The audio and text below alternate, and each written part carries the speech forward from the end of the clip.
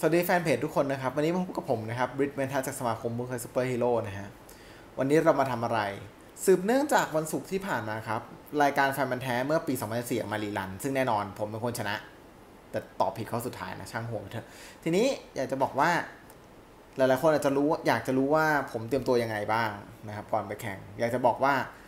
อุปสรรคที่สำคัญที่สุดของผมอะตอนที่ผมไปแข่งอะคือการตื่นสนาม ทีนี้ทำยังไงให้ไม่ตื่นสนามผมก็ต้องฟิตซ้อมบ่อยๆกับเพื่อนอะไรเงี้ยแบบเฮ้ยข้อสามบีเนี่ยเปิด คือตอนข้อสามบีผมกลัวบอกตรงว่าเป็นข้อที่กลัวที่สุดคือแบบ เปิดมาแล้วสตันแบบอ้าวเฮ้ยเกิดอะไรขึ้น ซึ่งไอ้ข้อเนี้ยเกิดกับพี่จึงเหมือนกัน เพราะว่าเปิดปุ๊บ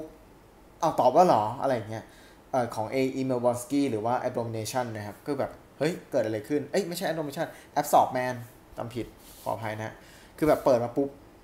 เฮ้ย เราจะเราจะอึ้งไปแป๊บหนึ่งคือผมกลัวข้อนี้มาก ข้อเกมเกมเนี่ยผมจะกลัวที่สุดนะครับ เพราะฉะนั้นก็ควรจะไปแบบไปดูภาพเยอะๆ ไปดูภาพบ่อยๆนะฮะว่าอ๋อมีชุดแบบนี้ตัวแบบนี้เกิดขึ้นมาครับ บางตัวอาจจะสับสนกันได้เช่นพวกของตระกูลของ symbiote นะครับแบบ Venom หรือว่าจะเป็น Carnage อะไรพวกนี้มันซึ่ง symbi symbiote มันเยอะมากๆสคอนสครีมอะไรอย่างเงี้ยนะอาจจะสลับสับสนกันได้นะครับ อย่างวันนี้ครับมีลูกเพจคนหนึ่งทักมา เขาเอาตัวชื่อ blessing skull มาครับ เขาถามว่ามันคือ ghost rider หรือเปล่า มันไม่ใช่นะ มันคนละตัวแต่ว่าหัวกะโหลกก็ติดไฟเหมือนกัน ซึ่งถ้าคนไม่รู้เนี่ยก็จะนึกว่า อ๋อ มันคือ ghost rider เห็นว่ากระโหลกติดไฟก็คือนึกว่า ghost rider หมด เปล่า มันไม่ใช่นะครับ ตัวละครหลายตัวอาจจะมีอะไรคล้าย ๆ กัน แต่มันคือคนละตัวกัน เอาจริง Dormammu ก็เหมือน ghost rider นะ ถ้าแบบตัดเห็นเห็นแต่หัวอะไรเงี้ย เพราะว่ามันเป็นกะโหลกติดไฟเหมือนกัน ไม่ต่างกันเลยนะฮะ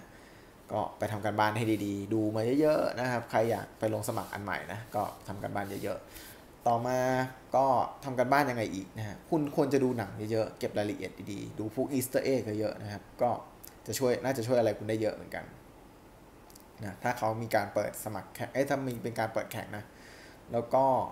comic อีเวนต์ใหญ่ๆครับคุณควรจะจำรายละเอียด detail ให้แน่นๆนะฮะว่าอะไรเกิดก่อนอะไรเกิดหลังนะครับ ก็ไปทำ detail มาว่าอ๋อ ปีนี้ออกอีเวนต์ Infinity ปีนี้ออกอีเวนต์ Age of Ultron ปีนี้ออกอีเวนต์ Secret War ปีนี้ออกอีเวนต์เอ่อ Civil War 2ใครตายบ้างในอีเวนต์นี้เช่นเอ่อ James Rhodey ตายอะไรเงี้ยตายเพราะใคร ตายเพราะ Thanos ต่อย หลาย ๆ อย่างนะครับคุณก็จะไปทำรายละเอียดมาว่าอ๋อตัวละครเกิดปีนี้ตายปีนี้สำคัญยังไงบ้างกับอีเวนต์นี้อีเวนต์นี้ทำอะไรกันบ้าง จบยังไงเกิดยังไงสาเหตุคืออะไร อย่าง Fantastic Four เนี่ย เอ้ย หายไปไหนมา 3-4 ปี อ๋อ มันหายไปตัวตั้งแต่ตอนจบของเอ่อ Secret War เพราะว่าไปเป็นเหมือนกับผู้ดูแลอวกาศได้รับพลัง Beyonder มาว่ากันไปนะฮะนั่น Nova ไปไหนอย่างเงี้ยเออ ไปอยู่ใน Negative Zone ในอย่างนี้นะครับนั่นแหละ เอ้ย ไม่ใช่อยู่ในก็คืออยู่ใน Cancer Verse ขออภัย อยู่ใน Cancer Verse นะครับก็นั่นแหละคุณก็ต้องมาทำการบ้านมานะครับว่า อ๋อ คุณควรจะแน่นข้อนั้นข้อนี้ ข้อที่ถัดมาที่ผมรู้สึกหนักใจ น่าจะเป็นพวกข้อข้อสุดท้ายสตาเลียผมไม่นับผิดเว้ยเอาจริง อย่างกัปตันเมกไออย่างเรื่องอเวนเจอร์เงี้ยถ้าใครไปดูในรีซีนมันจะมีฉากที่กัปตันนั่งกินกาแฟ แล้วคุยกับสตาลีด้วย ไม่ใช่แค่แบบฉากที่อยู่ฉากสุดท้ายเลยอะไรเงี้ยมันมีมันมีฉากที่ตัดก่อนหน้านั้น ก็ควรจะฟังคำถามที่ดีนะครับว่า เขาถามว่าที่ฉายในโรงภาพยนตร์ หรือทั้งหมดของหนัง ผมตอนนั้นผมตีความไม่ออก ผมก็นึกว่าอ๋อแม่งรวมหมดอะไรเงี้ยแต่ไม่เป็นไรก็ได้ถ้วยกลับมาบ้านนะครับ ได้ของนั่นนู่นนี่เยอะแยะไปหมดนะครับถ้วยก็ก็เนี่ยถ้วยถ้วยก็ไม่มีอะไรมากนะแฟนมันแท้2014มาเวลนะหลายคนจะสงสัยว่าเฮ้ยมึงเป็นแฟนมันแท้จริงเหรอก็ก็เนี่ยครับถ้วย แล้วข้างถ้วยมีลายเซ็นเจมกันด้วยเพราะว่าเจมส์กันเคยมาประเทศไทยจ้ะให้เขาเซ็นไว้นะครับามว่าภูมิใจไหมก็ภูมิใจนะ แต่ผมที่ผมโอเคมากกว่าคือการได้รู้จักกับหลาย ๆ คนเพิ่มขึ้นนะครับตอนนี้ผมก็ทำงานกับพี่จึงตลอดนะหลาย ๆ อย่าง ไม่ว่าจะเป็นงานแฟนอีเวนต์งานรอบสื่อหรือว่าจะออกไปพูดที่มหาลัยด้วยกันอะไรเงี้ยเป็นวิทยากรร่วมกัน คือแบบผมรู้สึกแฮปปี้ที่วงการมันได้ไปไกลขึ้นนะ ถ้าเด็กรุ่นใหม่มาแข่งก็อยากให้ทำเหมือนกันนะครับแบบอยากให้วงการมัน run ได้ไปไกลขึ้นอยากให้สนับสนุนของแท้นะไม่ว่าใครจะขึ้นมาเป็นก็ตามแบบอยากให้คุณแบบมีคอมิกสะสมบ้าง สะสมหนังแท้แผ่นแท้ DVD แท้ เพราะว่าทุกๆอย่างที่คุณทำอะครับมันจะเป็นเหมือน represent หรือเป็นตัวแทนของของตัวแฟนๆในประเทศไทย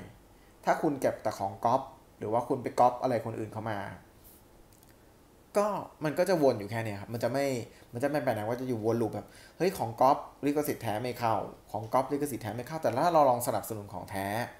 หรือว่ารับสนับสนุนสนับสนุนของลิขสิทธิ์อย่างเช่นของเล่น ไม่ว่าจะเป็นเลโก้ หรือว่าจะเป็น h ัชโบรนะครับ หรือว่าจะเป็น Hot Toy อะไรเงี้ย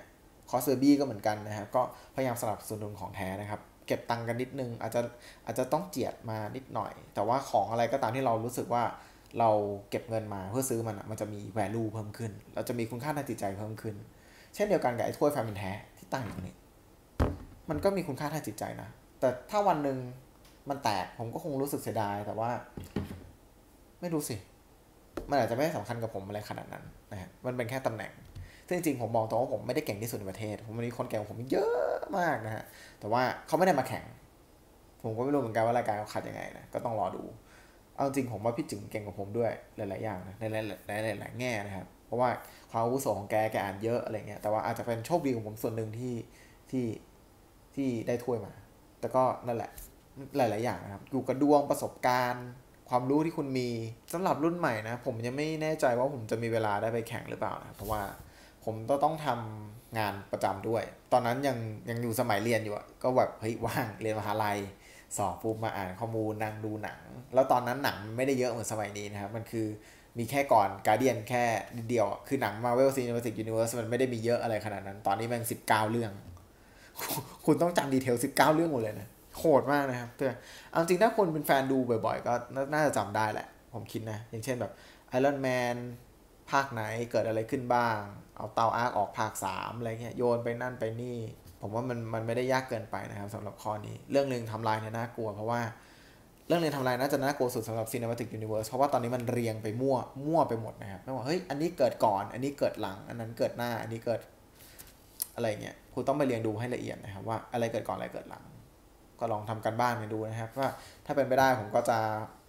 ทำคลิปไว้ให้ดูแล้วกันนะถ้าผมมีข้อมูลนะครับ ก็จะมาทำอ๋ออันนี้เกิดก่อนที่จริงก็คือแบบตั้งแต่คือตามตามหลักเฟสแรกอะ คือเรื่องที่เกิดก่อนสุดอะคือทอนะคือไม่มีทอตัวเด็กไงในเรื่องก็เลยแบบอ๋อ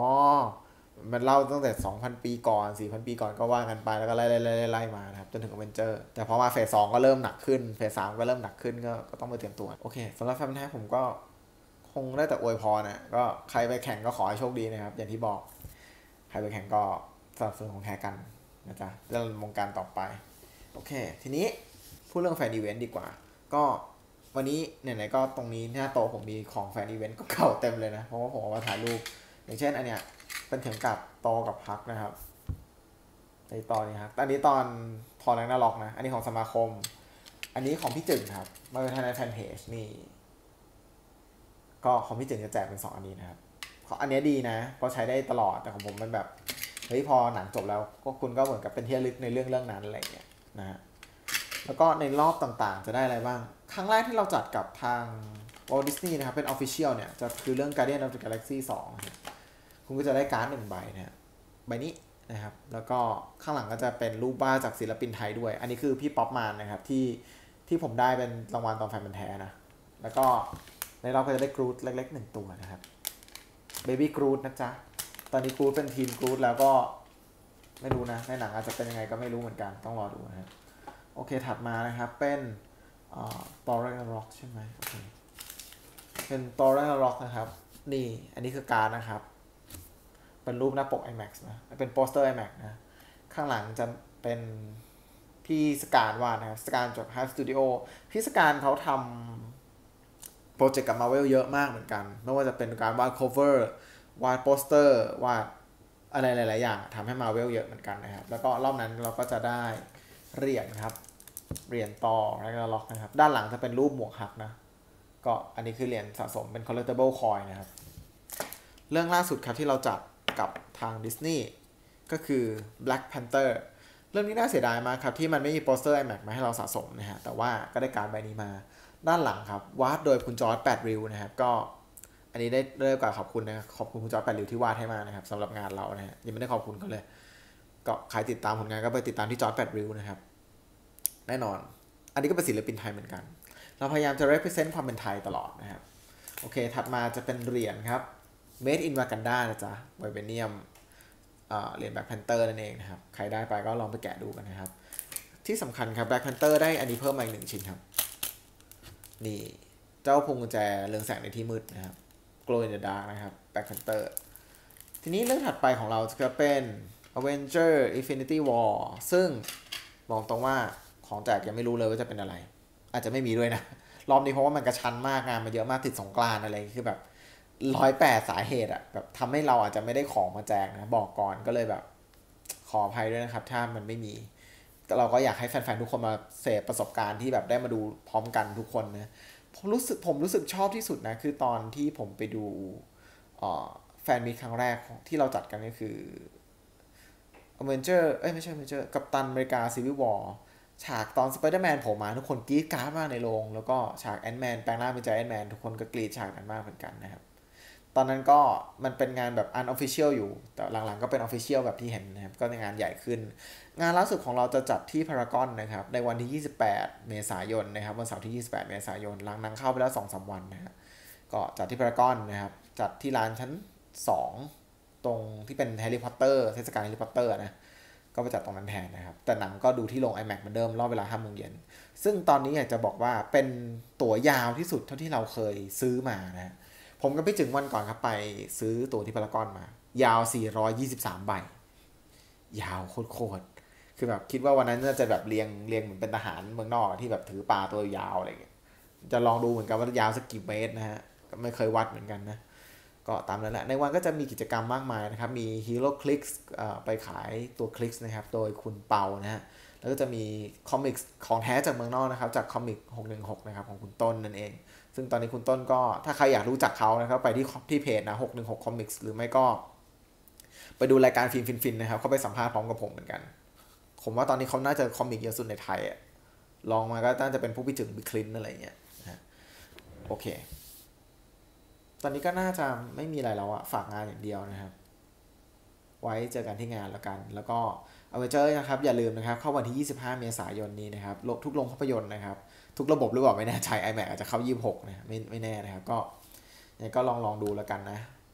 เรื่องนี้คุณไม่ควรพลาดจริงๆ เพราะว่าเป็นครบรอบ 10 ปี MCU แล้วนะครับ ผมอยู่กับมันมา 10 ปีแล้วหรอนานเหมือนกันนะ นานมาก สมัยนั้นยังทำอะไรกันอยู่ก็ไม่รู้นะยังเด็กๆอยู่เลยผมน่าจะเรียนมหาลัยอยู่นะก็ลองคอมเมนต์กันดูแล้วกันนะครับว่า 10 ปีก่อนทุกคนทำอะไรอยู่ตอน Iron Man หนึ่งกำลังเข้าฉายนะ โอเคสำหรับวันนี้ก็ขอบคุณมาก ใครมีอะไรก็ถามไปนะครับ เดี๋ยวอาจจะทำคลิป part สองเนี่ยเป็นคลิปพิเศษนะครับ โอเค แล้วเจอกันนะครับ บ๊ายบาย